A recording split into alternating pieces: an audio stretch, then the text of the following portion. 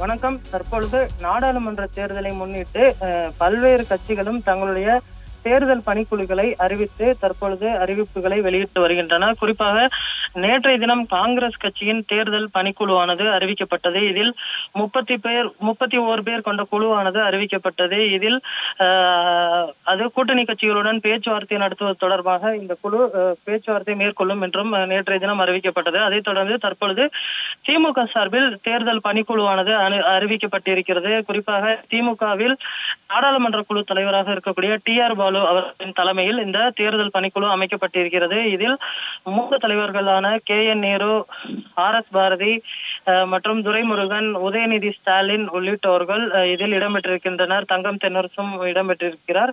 இவர்கள் பிரதான கட்சிகளுடன் பேச்சுவார்த்தை நடத்துவதற்கும் கூட்டணி குறித்து முடிவு செய்வதற்கும் இந்த குழு பேச்சுவார்த்தையில் ஈடுபடும் என தெரிவிக்கப்பட்டிருக்கிறது. தற்பொழுது இந்த குழுவானது தங்களுடைய பேச்சுவார்த்தைகளை உடனடியாக துவங்குவார்கள் என தெரிவிக்கப்பட்டிருக்கிறது. குறிப்பாக பிப்ரவரி முதல் வாரத்தில் இந்த குழு தனது பிர- பேச்சுவார்த்தையை துவங்கும் என எதிர்பார்க்கப்படுகிறது. மற்றொரு குழுவும் அறிவிக்கப்பட்டிருக்கிறது. குறிப்பாக திமுகவின் தேர்தல் அறிக்கையை தயாரிக்கக்கூடிய அந்த குழு அறிவிக்கப்பட்டிருக்கிறது. இதில் கனிமொழி எம்பி அவர்களின் தலைமையில் அறிவிக்கப்பட்டிருக்கக்கூடிய இந்த குழுவில் தங்கம் தென்னரசு அதே போன்று PTR Palanivel Rajan R S Bharathi உள்ளிட்ட பல்வேறு உறுப்பினர்கள் இடம்பெற்றிருக்கிறார்கள். ஒரு ஒரு மூத்த குழு கொண்ட குழுவானது அறிவிக்கப்பட்டிருக்கிறது. மொத்தம் மூன்று குழுக்களானது அறிவிக்கப்பட்டிருக்கிறது. அதில் இரண்டு முக்கிய குழுக்கள் என்று பார்த்தோமேனால் திமுகவின் தேர்தல் பணிக்குழு மற்றும் திமுகவின் தேர்தல் அறிக்கை தயார் செய்யக்கூடிய குழு என மூன்று குழுக்கள் அறிவிக்கப்பட்டிருக்கிறது. இந்த குழுக்கள் தங்களுடைய பேச்சுவார்த்தைகளை உடனடியாக துவங்குவார்கள் என எதிர்பார்க்கப்படுகிறது. குறிப்பாக கடந்த முறை திமுக கூட்டணியில் காங்கிரஸ் கட்சி கம்யூனிஸ்ட் கட்சிகள் விடுதலை சிறுத்தைகள் மதிமுக அதே போன்று கொங்கு நாடீஸ்வரன் கட்சி தமிழக வாழ்முறை கட்சி உள்ளிட்ட பல்வேறு கட்சிகள் இடம்பெற்றன. இதில் இந்தியன் யூனியன் முஸ்லீம் லீக்குக்கு ஒரு இடம் அதே போன்று மனிதநேய மக்கள் கட்சிக்கு இடங்கள் ஒதுக்கப்பட்டன.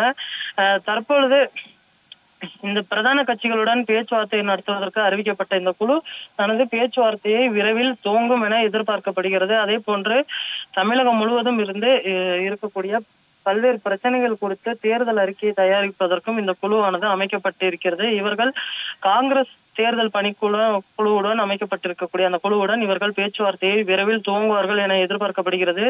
திமுகவின் தேர்தல் அறிக்கை- அறிக்கையானது மார்ச் முதல் வாரத்தில் வெளியிடப்படும் என எதிர்பார்க்கப்படுகிறது. அதே போன்று கூட்டணியை இறுதி செய்வதற்கு அதாவது அஹ், விடுதலை சிறுத்தைகள் கட்சிக்கு எத்தனை இடங்கள் காங்கிரஸ் கட்சிக்கு எத்தனை இடங்கள் உள்ளிட்டவை குறித்து இந்த குழு பேச்சுவார்த்தையில் ஈடுபடும் என தெரிகிறது.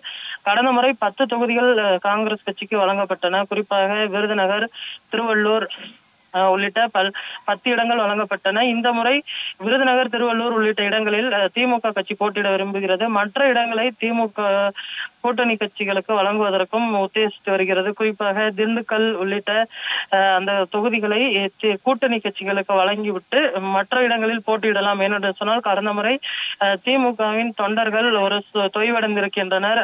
தாங்கள் போட்டியிடக்கூடிய அந்த இடங்களில் அவர்களுக்கு வாரி வழங்கியிருக்கக்கூடிய சூழ்நிலையில் அஹ், தற்பொழுது அவர்கள் அந்த இடங்களை கேட்டு பெற்று போட்டியிடுவதற்கும் தயாராகி வருகின்றனர். இந்த குழு உடனடியாக தனது பேச்சுவார்த்தைகளை துவங்கும் என தெரிகிறது.